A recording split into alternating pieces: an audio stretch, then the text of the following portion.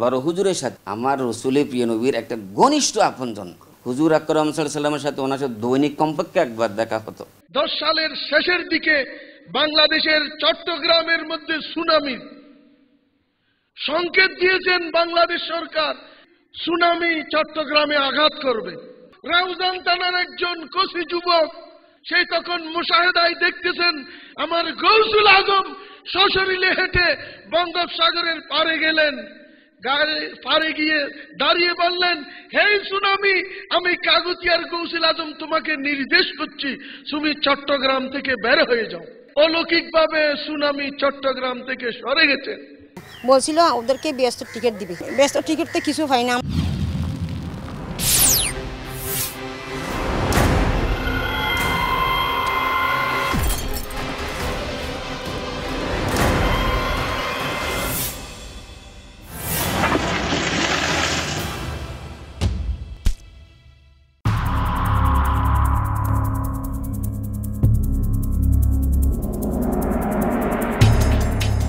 সবাই যেতে চায়, কিন্তু মরতে কজন চায় বলুন?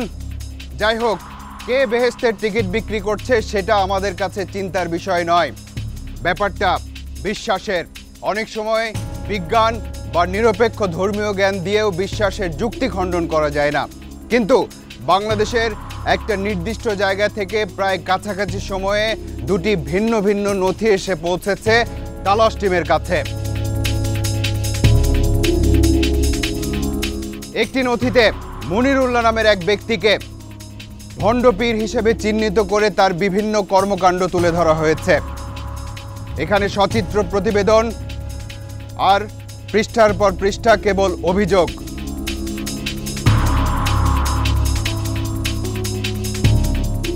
অন্য নথিটি এসেছে ওই মনিরুল্লাহ বা তার সংগঠনের পক্ষ থেকে। এই নথির শিরোনাম হলো, রাউজানের নজিরবিহীন সন্ত্রাস সন্ত্রাসের তথ্য চিত্র। অর্থাৎ মনিরুল্লাহ এবং তার সমর্থক বা সংগঠনের অনুসারীদের উপর নির্যাতনের চিত্র উঠে এসেছে। এই নথির পুরোটা জুড়ে ইঙ্গিতটা স্থানীয় সংসদ সদস্যের দিকে।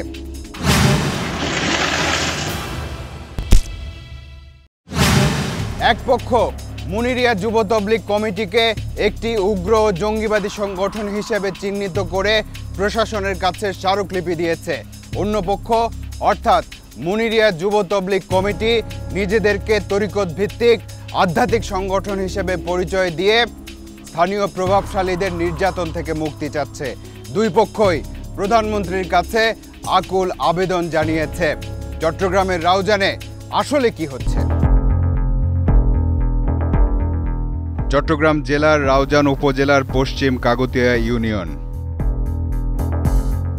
গৃহবধূ জাহানারা বেগম। নামে গৃহবধূ হলেও একটা বিশেষ কারণে গৃহে থাকার মতো নাকি অবস্থা নেই জাহানারাদের। কি সেই বিশেষ কারণ? সাড়ে তিন ঘণ্টা জায়গা আমার শাশুড়ি থেকে ফুসলাইয়ে নিয়ে গেছে। আমাদের বসার দিনের জায়গা ওইটা। বলছিল ওদেরকে ব্যস্ত টিকিট দিবে। ব্যস্ত টিকিট তো কিছু হয় না। জাহানারার শাশুড়ির মতো বেহেস্তের টিকিটের আশায় মনিরিয়া যুব তবলিগে নাকি আরও মানুষ জমি দান করেছেন। আমার আম্মা ওই বেসতে টিকিট পাবে আশায় মানে ওরা বলছিল এই জন্য জমি দিছে। শুধু তাই নয় অভিযোগ আছে ধর্মীয় বিশ্বাসের জায়গা থেকে কেউ জমি দিতে রাজি না হলে জবরদখলের ঘটনাও নাকি আছে। স্থানীয় বাসিন্দা আব্দুস সালাম। দক্ষিণ পাশে জায়গাটা আমার বাবার সম্পত্তি। মনিরুল্লাহ জোরপূর্বক ওখানে কি বরাট করতেছে? এগুলো কি ফিরের কাজ? আমি বাঁধা দিলে বলতে কি সব লোকে ব্যস্তের জন্য জায়গা দাও। আমি ব্যস্ত আমার লাগবে না। ফিজ নাই এক বন্ড। জমির মালিকানার প্রমাণ হিসেবে জমির দলিলও আছে আব্দুস সালামের। চারশো চৌত্রিশ নম্বর খতিয়ানের, তেরোশো ষাট নম্বর দাগের জমির মালিকের জায়গায় আব্দুস সালামের নাম আছে। একটা অরাজনৈতিক তরিকত ভিত্তিক আধ্যাত্মিক সংগঠনের কর্মকাণ্ড এমন হতে পারে তা বিশ্বাস করা কঠিন। মনে হচ্ছে তাদের কোনো শক্তির জায়গা আছে। যদি এসব ঘটনা সত্যি হয়, তবে হঠাৎ করে এমন হয়েছে, তা মনে করাটা বোকামি হবে। আমাদের এখানে মার্কেটটা দখল করছে তারপরে মসজিদ কবরস্থান এগুলো কাদের শাহ ফকির ফারুকির প্রমাণ কি আছে? প্রমাণ দলিল আছে আমাদের খতিয়ান আছে দেখেন। এখানে দেখি বলছি আমাদের কালকে আমাদের মারবে। মনিরুল্লাহ যুব তবলিগ কমিটি যেটা বানাইছে ওইটা হচ্ছে সান্দা সাদাবাস ওইটা হচ্ছে সন্ত্রাস বাহিনী ওইটা হচ্ছে গুন্ডা বাহিনী। তরিকতের নাম দিয়ে এই মানে করে। অভিযোগের সূত্র ধরে কয়েকজন প্রবাসীর সাথে যোগাযোগ করল তালাশ টিম দুবাই প্রবাসী আলমগীর হোসাইন। প্রবাসী আছে যত দোকান আছে, সবার থেকে টাকা কালেকশন সবার থেকে এই টাকাগুলো কালেকশন করে যে সন্ত্রাসী চলতেছে, এটা জানার পর আমরা টাকা মুনিরিয়া যুব তবলিগ কমিটির পক্ষ থেকে নিয়মিত চাঁদা আদায়ের জন্য স্থানীয় ব্যবসা প্রতিষ্ঠান, এমনকি বাড়িতে বাড়িতেও নাকি দান বাক্স রাখা আছে। অভিযোগের সত্যতা যাচাই করতে এলাকার কয়েকটি বাড়িতে গিয়ে তার প্রমাণও পাওয়া গেল। রেখে বেগম। বেলাল হোসেন। মনিরিয়ার ডান বক্স দিয়ে বাধ্যতামূলক রাখতে হবে এটা বলছে আমাকে। অভিযোগপত্রের শত শত পৃষ্ঠা। দুই পক্ষের অভিযোগ পর্যবেক্ষণ করলে বা কিছুটা পর্যালোচনা করলে একটা ধাঁধার মধ্যে পড়ে যাওয়ার মতো অবস্থা হয়। মুনিরিয়া যুব তবলিগ কমিটির সভাপতি মনিরুল্লাহ আর তার ভগ্নিপতি কায়েস চৌধুরীর ব্যাংক হিসাবের কিছু তথ্য এসেছে। তালাশ টিমের কাছে। অন্য কোনো ব্যাংকে তাদের হিসাব আছে কিনা সেটা আমাদের জানা নেই। তবে মনিরুল্লাহর সোনালী ব্যাংকের হিসাব এবং কায়েস চৌধুরীর ইউনাইটেড কমার্শিয়াল ব্যাংকের হিসাবে দেখা যাচ্ছে, তাদের অ্যাকাউন্টে প্রায় প্রতিদিনই লাখ লাখ টাকা এসে জমা হচ্ছে। যোগ করলে কোটি কোটি টাকার হিসাব। কাগতিয়া মনিরিয়া দরবার শরীফে মনিরুল্লাহর সাথে ছিলেন, এমন একজনকে পাওয়া গেল। ওর যতটুকু বয়স এর চেয়ে টাকা পয়সা অন্য বেশি হয়ে গেছে। হাজার কোটি টাকা হইতে পারে আপনার কি ধারণা? চোদ্দ হাজার কোটি টাকা। চোদ্দ হাজার। অভিযোগ আছে মনিরিয়া যুব তবলিগ কমিটির এসব কার্যকলাপের বিরোধিতা এমনকি সমালোচনাকারীদের বেশিরভাগ ক্ষেত্রে আক্রমণের শিকার হতে হয়েছে। যত রকমের মিথ্যা আশ্রয় স্বপ্ন দুঃখবাজি ভণ্ডামি যত আছে সব কিছু তারা করেছে। এগুলোর বিরুদ্ধে করে বলেছি যেগুলো কোরআন হাদিস ভিত্তিক নয়। এগুলো বলার কারণে পায়ের রোগটা দেখেন এ কমপ্লিট দুই টুকরা করে ফেলেছে। একদম। মুনিরিয়া যুব তবলিগ কমিটির রোশানলে পড়ে হলদিয়া ইউনিয়নের এক কিশোরের নিহত হওয়ার তথ্য পাওয়া গেল। মনিরিয়ার সন্ত্রাস হলে দরিয়ার ইতার মাঝে তো ফতির সবার তিলে গিয়ে ইয়ে নলাই বাজার না বাড়ি মারা গিয়ে। শুধু নইমুদ্দিন নয় আরও আছে। দিন পরে মারা গেছে সত্য থেকে এটা সুরমচুর করে গেলে আর ভাই আর ভাই না যাম। অবস্থা দৃষ্টে মনে হচ্ছে একটা নৈরাজ্যের জনপদে পরিণত হয়েছে রাউজান। এই কথার উল্টো পিঠে কয়েকটা প্রশ্ন এসে যায়। স্থানীয় প্রশাসন কি করেছে? কি করেছে? জনপ্রতিনিধি। আমরা শুনেছি একজন মুক্তিযোদ্ধার গায়ে হাত তোলার পর থেকেই এলাকায় মুখোমুখি অবস্থানে চলে যায় দুই পক্ষ। মুক্তিযোদ্ধা শফিকুল আনোয়ার। গলা টিপি ধরছে? আর কিছুক্ষণ হলে তো আমি তো মারাও দিতাম। তারা তো সবসময় সন্ত্রাসী কাজ করবার চলে মুনিরিয়া যুব তবলিগ কমিটির এসব কার্যকলাপের কারণে নাকি কিছু মানুষ ওই সংগঠন থেকে বেরিয়েও এসেছে। আমরা সবাই প্রত্যাখ্যান করলাম একসাথে। কাগতিয়া দরবারকে একটা ইজারা হিসেবে নিয়েছে টাকা কামানোর জন্য। সেই জন্য যে স্বপ্রণোদিত হয়ে আমি মরিনা যুব তবলিগ কমিটির সাথে সকল কার্যক্রম আমি চিহ্ন করেছি। ওদেরকে অস্ত্র হাতে নেবার জন্য বলেছিল যে ওখানে যাও এই সমস্ত জিনিসগুলো নিয়ে যাও আক্রমণ করো। এবার মুনিরিয়া যুব তবলিক কমিটির সাথে যোগাযোগ শুরু করল তালাশ টিম। একজন ব্রাঞ্চ সভাপতিকে পাওয়া গেল কথা বলার জন্য। আমাদের শাখা দুইশো বারো বারোটা। তাহলে আমার হুজুর ডবল কবল করার প্রশ্ন আসবে কখন? যদি হুজুরের নামে সম্পত্তিগুলো হইতো। যেহেতু সম্পত্তিগুলো টোটালি ট্রাস্টের নামে। দৃশ্যপটে এবার মনিরিয়া যুব তবলিক কমিটির ফটিকছড়ি পৌরসভা শাখার সভাপতি মোস্তফা কামাল।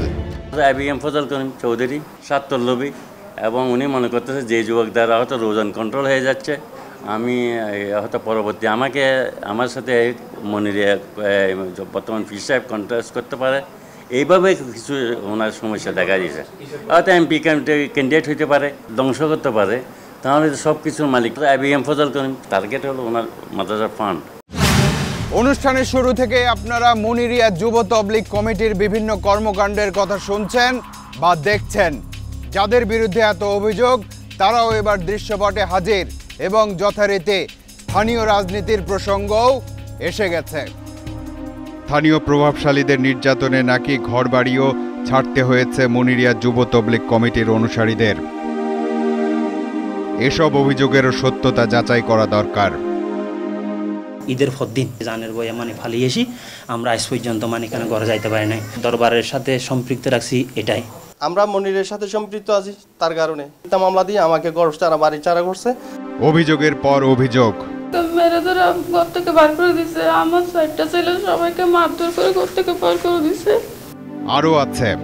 আমি এখানে বাসায় থাকতে পারতেছি না। কারণ ওদের ভয়ে ওরা মারধর করবে আমাকে। আবু সালাক নামে এক ব্যক্তি আমাদেরকে মারধর করছিল। অবস্থা বেশ খারাপই মনে হচ্ছে। অর্থ ক্ষমতা প্রভাব বা রাজনীতি সব কিছুর দ্বন্দ্ব চরম পর্যায়ে পৌঁছানোর পরই হয়তো এমন অবস্থা তৈরি হয়েছে। কিন্তু আমরা ভাবছি, সুবিধাভোগী না থাকলে তো কোনো অপরাধী এভাবে মাথা চারা দিয়ে উঠতে পারে না। চার মিনিট পর আসছে।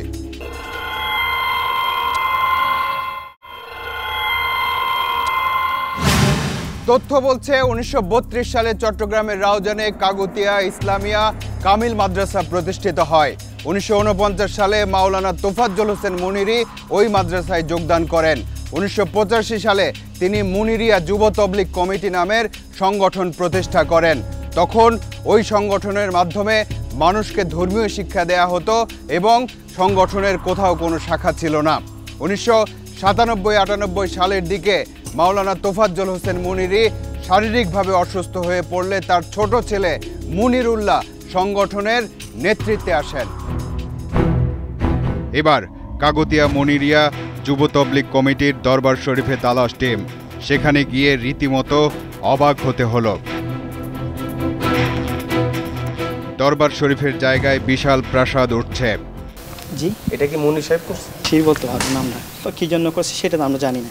কে তৈরি করছে এই প্রাসাদ? নাম ধরে ডাকে না উনি তো এক সাহেব। সবাই এমনি মহান মুর্শিদ আজম বলে তত্ত্বাবধায়কের অনুমতি নিয়ে কয়েকজন স্থানীয় ব্যক্তির সাথে ভেতরে প্রবেশ করল তালাশ টিম। ইটের গাঁথুনি নয় কংক্রিট দিয়ে তৈরি হচ্ছে ভবনটি ইটের কোনো ইয়া নেই এখানে। ইট তো আমরা দেখিও নাই কোনোদিন আসতে। এই বিল্ডিংয়ে আমরা কয়েকবার ঢুকেছি আমরা নিজেরাই হারিয়ে যাই এই বিল্ডিংয়ে ঢুকলে। কারণ এমন এমন রুম এমন এমন সুড়ঙ্গ। দ্বিতীয় তলায় সুইমিং পুলও আছে। দুই গম্বুজ বিশিষ্ট ছয়তলা এই ভবনের লিফটের সংখ্যা চারটি। ভবন থেকে নামার সময় পেছন দিকে আন্ডারগ্রাউন্ডে নামার একটা সিঁড়ি। আমি তো বলছি আন্ডারগ্রাউন্ড এখানে আছে আন্ডারগ্রাউন্ড এখানে কোনো দরজা নেই কিছু নেই। জাস্ট একটা ছোট্ট সিঁড়ি। যে হুজুরটা ছিল হুজুরের কাজকর্ম ছিল না। এর ছেলে আসিয়া অবৈধ কাজ করছে সব। এদের নেশা হলো ঠেকা। এগুলো তো সব জলমের পয়সা। এগুলো হকের পয়সা নাকি ভাই? বেশ সচ্ছল। না, একটু ভুল হয়ে গেল। মনে হচ্ছে বেশ সম্পদশালী হয়ে উঠেছে সংগঠনটি। সংশ্লিষ্টদের সাথে কথা বলে জানা গেছে, সংগঠনটির কর্মকাণ্ড বাড়ার সাথে সাথে ধাপে ধাপে অর্থের যোগানের একটা সুশৃঙ্খল প্রক্রিয়াও গড়ে উঠেছে।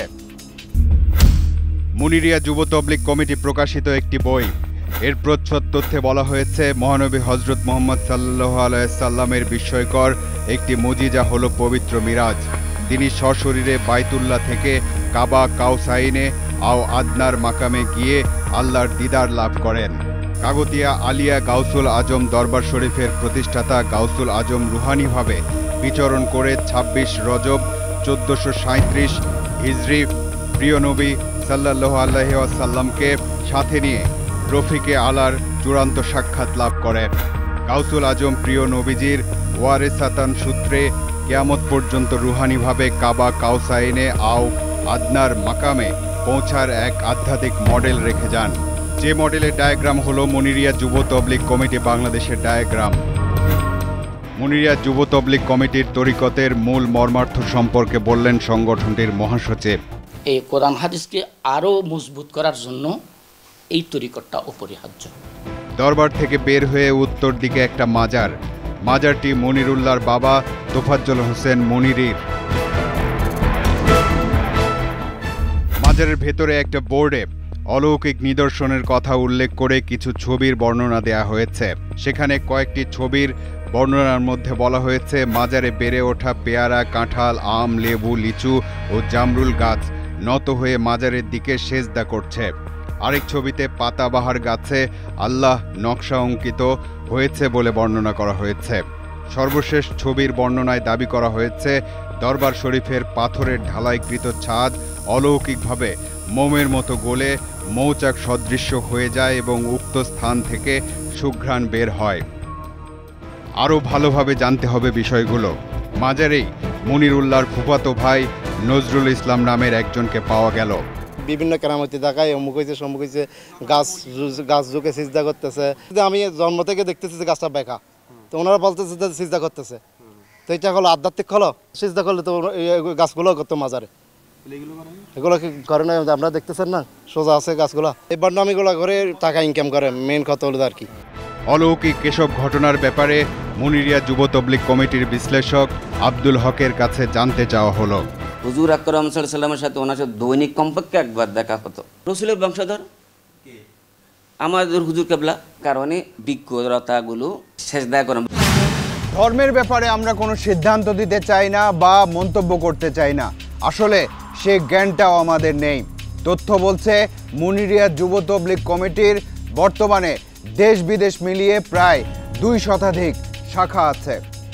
জানা গেছে মুনিরিয়া যুব তবলিক কমিটির প্রতিষ্ঠাতা তোফাজ্জল হোসেন মুনিরির তিন ছেলে। বড় ছেলে মোহাম্মদুল্লাহ ও মেজ ছেলের নাম হাবিবুল্লাহ আর সবার ছোট মনিরুল্লাহ। মনিরুল্লাহ বর্তমানে সংগঠনটির সভাপতির দায়িত্বে থাকলেও বাকি দুই ভাই এলাকায় থাকেন না। মনিরুল্লাহ কোথায় আছেন সে সম্পর্কে বিভ্রান্তিকর তথ্য পাওয়া গেল। আচ্ছা আপনাদের হুজুর এখন কোথায় হুজুর চিকিৎসার জন্য বাইরে আছে। আমার মা সৌদি আছেন। উমরা উমরাতে গিয়েছেন ওইখানে আছেন এবার মনিরুল্লাহর বড় দুই ভাইয়ের কাছে তালাশ টিম আমার আব্বাকে কোনোদিন দেখিনি যে কারামত জাহির করতে। যেমন গাছের সজিদা বলতেছেন ওইটা উদ্ভট কথাবার্তা। এগুলো এমনি এদের মন গড়া। এখানে কতগুলো লোক আছে দরবারে দিলে আপনার আপনি বেহেস্তে পেয়ে যাবেন। এটা কোনো তরিকত না। এটা কি? মনিরিয়া যুব তবলিক কমিটির লোকজনের কর্মকাণ্ড সম্পর্কে যে তথ্য সে ব্যাপারেও জানতে চাওয়া হলো। অত্যাচার করছে মানুষের উপরে এটা অবান্তর কথা না। অত্যাচার করছে? করছে করছে। সত্যি হলে একটা আলেমকে এভাবে মারা এগুলো তো তরিকত বলা যাবে না এটা। নবীর বংশধর দাবি করাটা কতটা যৌক্তিক? আমরা আমরা সৈয়দ বংশ ঠিক আছে? তাদের রসুল আমার আব্বাও ব্যবহার করেন না রাউজান থানায় তালাশ টিম ভারপ্রাপ্ত কর্মকর্তা কেপায়েতুল্লাহ। ধর্ম এবং নবীর নবী রসুলকে যেভাবে তারা ইউজ করছে কেউ যদি তাদের মতামতের বিরুদ্ধে কিছু বলে তখন তারা ওখানে হামলা করে মানুষকে মারে। বিভিন্ন ওয়ার্ডে অফিস আছে। তাহলে স্থানীয় প্রশাসনের ভূমিকা কি? কীভাবে সাহস পাই একটা এলাকায়? এটা তো সাহস পাইছে আসলে আগে থেকে হয়ে আসছে। কেউ প্রতিবাদ করে নাই। বিড়ালের গলায় ঘন্টাটা লাগাবে কে আমাদের একটা সকলেরই একটা মনের ভিতর ভীতি রাখাইছে যে ফির ফিরের বিরুদ্ধে কিছু বলা যায় না। রাউজান উপজেলা নির্বাহী কর্মকর্তা জোনায়েদ কবির। সন্ত্রাসী কার্যক্রম তারা ঘটিয়েছে।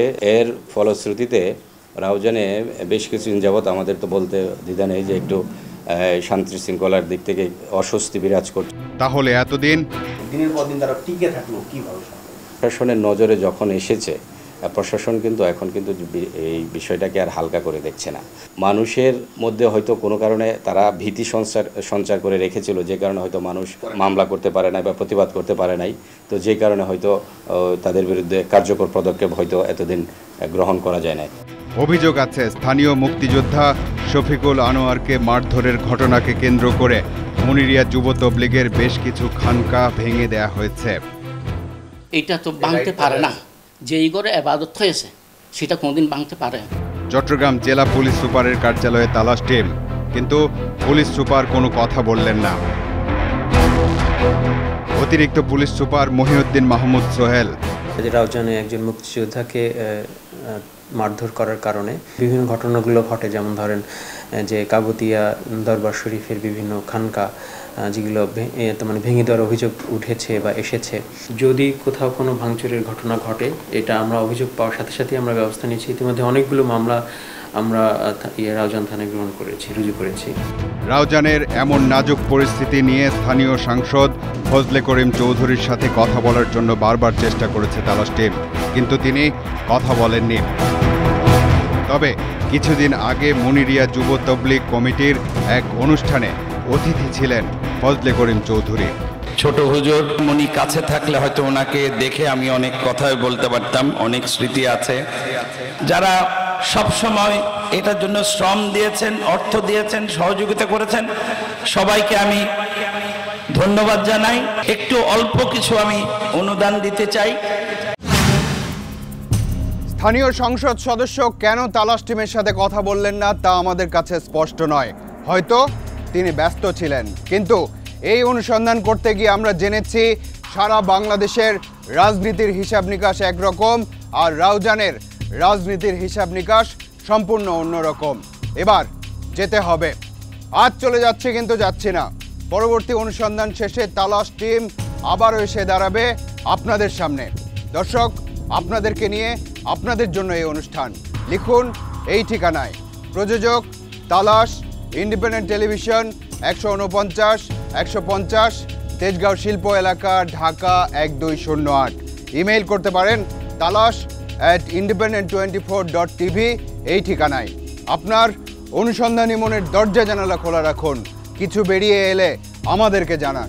তালাশ টিম থাকবে আপনার সাথে।